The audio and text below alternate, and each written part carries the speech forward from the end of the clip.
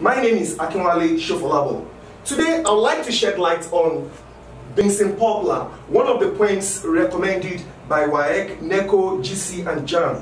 Okay, the title of the poem is, the poem is a non-African poem. Of course, the poet is a British poet, Binsey Poplar. Before we keep the ball rolling, I'd like to talk about the setting of the poem. Of course, everybody knows that setting has to do with the background of a work of arts.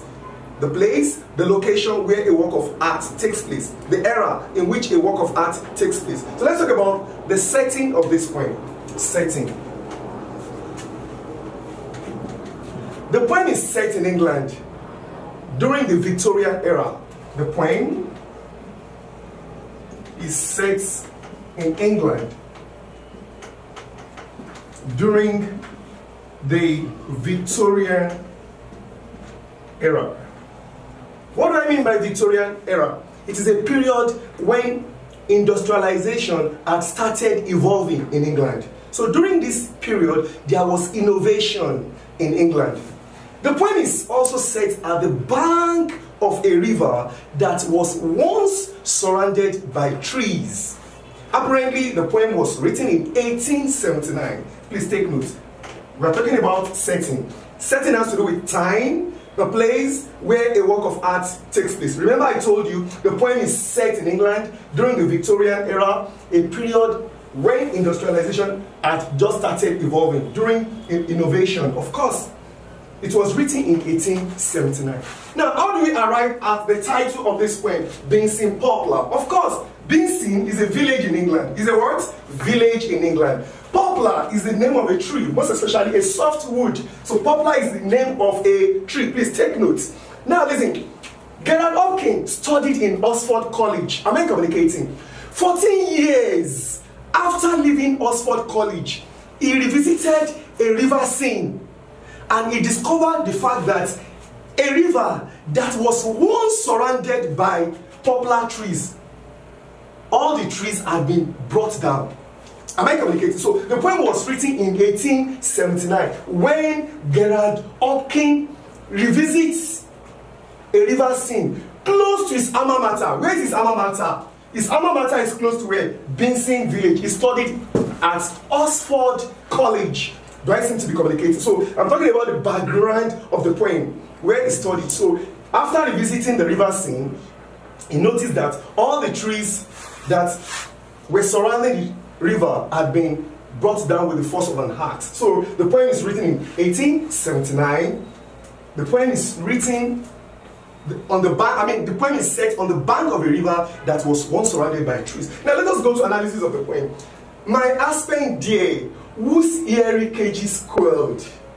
Now listen, if you look at the first line of the poem, the first line of this poem is an epitaph. What I call it, class? Epitaph. What do we call epitaph? An epitaph is an inscription on the on a burial ground. So the first line of the poem is more of melancholic tone. The tone is melancholy. Okay, my aspen deer, whose eerie cages quelled. So the poet's personnel was actually sad. He was grieved at the destruction of the what trees. He noticed that the trees that were the trees that surrounded the what? The river had been what? Cut off after 14 years of visiting his what? Alma mater. So this poem basically talks about vandalism of nature. The poet is a lover of what? Nature. Okay, why were these trees cut off? They were cut off because of what? Innovation. Of course, you know that softwood, they are used for production of papers. So they were used for the railway at that time, remember I told you that it was a period when industrialization had started evolving in England. So of course they needed raw materials for production of some certain things. Now, my aspen there. Now, the word aspen, aspen is a species of poplar trees. Am I communicating? My aspen there. He was actually talking as if the trees in question were human beings. My aspen deer, whose eerie cages quelled. The word quelled means brought down. They were cut off with the force of an axe. Remember I told you it was as a result of what? Industrialization. They needed them for raw material. So the first line is more of epitaph and begins with a melancholic tone. quelled, quenched in leaves. The leaping sun. Now let's go back. Airy cages refers to branches of the tree. What I call it, branches of the what of the trees. Am I communicating? So during that time, the poet persona had uh, I mean, remembered how the branches of the tree serve as what? A shade. Am I communicating? That keeps the ray of the sun away. So he wonders why the trees were cut off. Now listen, my aspen dear, whose cage is called. If you notice, you will discover that in the last, I mean, the last word in line one is quelled. The same word is used to introduce what? Line 2. In literature, we call it anadiplosis. What I call it? Anadiplosis. When the last word of a line of poetry is used to introduce another line. So please take note. So the poet has employed the use of words and anadiplosis because the last word in line 1 is used to introduce line 2. Remember I told you.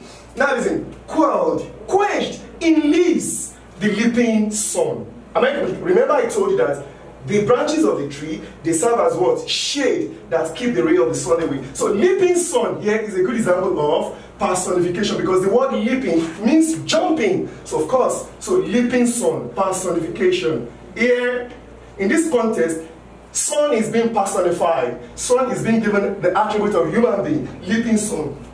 All felled, felled all are felt invariably, which means that all the trees were brought down with the force of an axe. So it's, it's talking about destruction, havoc, wreak on what? On nature, vandalism of nature. And if you look at this line, all felled, felled, felled. Of course, this is a good example of what? Alliteration. You can see felled, filled, filled. At the same time, we can also call it repetition. Why do we repeat a word in poetry? For the purpose of emphasis. Please take note of that. So, you could regard it as what? Alliteration. At the same time, you could as well call it what? Repetition. So please take note. On the underlying consonant sound. So what is alliteration? The repetition of initial consonant sound. So please take note. We have the use of what? Alliteration of a fresh and following folded rank. Now, what does it mean? Of course, we have, we have another figure of speech here. Fresh, following, folded. What's the alliterate? F, there is initial consonant sound. Following. So we have, we have another poetic device employed here which is called alliteration. Now, of a fresh and following folded rank, which invariably means that the trees in questions, they were arranged in lines. Like military procession. Of, of course, you know how a military procession looks like. So the trees in question, they were arranged in lines. And all the trees have been brought down, cut off with the force of an axe. Now listen, not spared, not one. He was actually talking as if those trees were human beings. That's why I said the first line of the poem is an epitaph. You know, which means because you can only use the word spare for either human being or animal. So it's talking as if the, the trees in question were uh, human being. That dandle, a sandaled, shadow that swam or sank on meadow and river and wind wandering with winding bank. What is he trying to say here? That he remembered when he used to visit the river scene, when the shadow of the trees, am I communicating? Appear on the river bed as if they had what? Sandal on them. Am I communicating? So let us get it. That dangled, a sandaled shadow that swam or sank on meadow and river and went wandering with winding bank. Am I communicating? So which means that he remembered those days when he usually go to the river scene, when the shadow of the trees appear on the surface of the river as if they had sandal on them. Oh, if we but knew what we do when we delve or ew. Of course, look at this word delve, ew. They are used for what? Destruction, vandalism on what? Nature. So that is why this poem is echo centered. Now listen, oh, he's now saying that the people who cut off the tree for their selfish motive, they are ignorant of what they are doing. They lack foresight. Oh, that means they are ignorant. Or if we but or if we oh if but knew what we do when we delve or ill. Now listen, please take note. Let me let me take you back. On meadow and river and winding wandering weed. Of course, we have another another example of alliteration here. We have wind, wandering, weed, winding. Of course, we have another example of alliteration here, swam and sank. So please take notes. There is a repetition of initial consonants and we also have it in W, which is the alliterate here. Now let us proceed. So, if we but knew what we do when we delve or ill, that is when we destroy nature, when we vandalize nature, ark and rack, the growing grain. What is the growing grain? Growing grain is referring to what? The trees in question. The, the trees in question that are being what? Vandalized. Now listen, ark and rack. Oh, look at it. Ark and what? Rack. Of course, ark and rack in this context is an example of what? Internal rhyme. We call it what? Internal rhyme. Please take notes. Ark and rack. There is a sound here. Ark, rack. But this rhyme occurs in the word in the middle, so we call it what? Internal rhyme, not end rhyme. Please take note. Then ark and rack, which means destroy the growing grain. What is the growing grain? What? Nature, the trees that are being what? Brought down. So please, growing grain is another example of what? Alliteration. Please take notes. Then let us go for that. They said, since country is so tender. Now listen, most of the trees, you will notice that most of the forests, am I communicating? You see them in the countryside. So they now, since country is so tender, which means that they liken the, country, uh, the countryside to be what? Fragile. The countryside that occupies nature. Am I communicating? They say it is what? Fragile. And it is the source of what? Food to the entire populace. They say, since country is so tender, which means that nature can be seen in what? Countryside. To touch to touch her. Now, nature is being personified as what? Ah. They now use ah, which is what? A pronoun used for what? For the feminine gender to personify what? Nature. Remember, I told you the poem centers on what? Vandalism of nature. It's so tender to touch. Being so slender that, like this sleek and thin ball. What are they trying to say? What the poet implies is that nature is now personified, is likened towards eyeball. What I call it? Remember, I told you that this tree, poplar, is what? A soft wood. Is a what? Soft wood. So it takes little effort to what? To destroy the tree in question. Now listen. To touch. So the soft wood, which is nature, poplar tree is now personified as what? Eyeball is personified as what? A young lady, because they use what? Ah, a young as a feminine gender. Mm -hmm. To touch, being so slender that like this sleek and symbol. What do you refer to as symbol? Eyeball. But a prick will make no eye at all. So if you prick an eyeball, what happens to the eyeball? Apparently, there is what? Loss of what? Sight. So na nature is what? Fragile. Nature is very sensitive. That is what they are trying to that's the message they are trying to put across. So nature is personified as what? Eyeball. The feminine gender of course everybody knows that women generally they are weaker vessels. So please So that is why they personify nature as eyeball, young lady, and they personify nature as what? Country. They are prone to destruction. Now let us proceed. Where we, even where we mean, to mend are, we end are. Please take note. To mend are, we end are. You will notice that they use are for nature. So nature is being personified. They keep using the pronoun are for what? Nature. Nature is being personified as a human being. They said, where we mean, even where we mean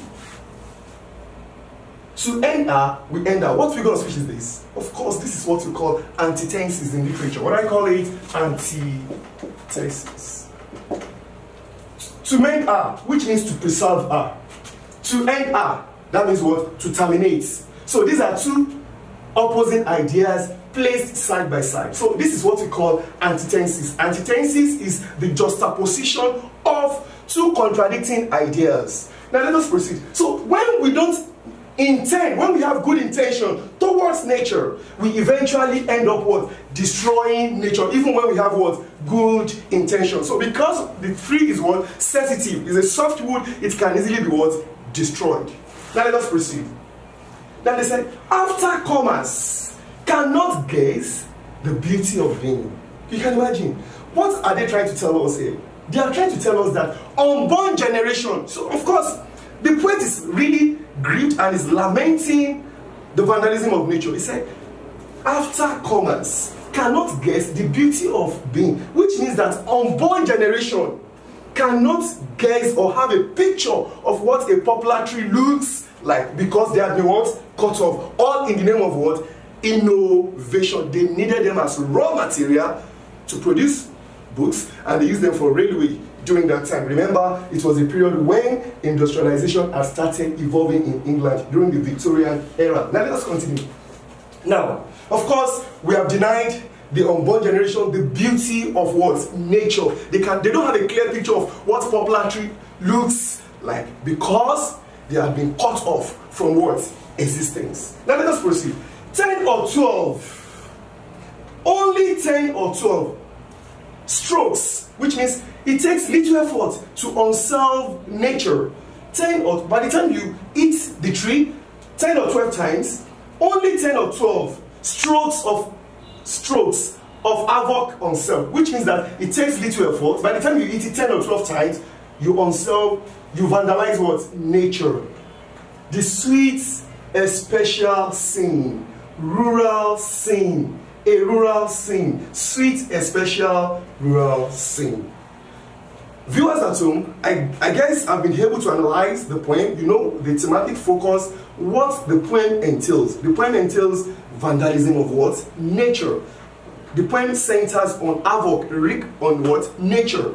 Of course i told you that the poet is what? A lover of what? Nature. Is grieved of course is not happy due to the fact that those trees had been cut off for innovation and he sees it as what? A selfish motive.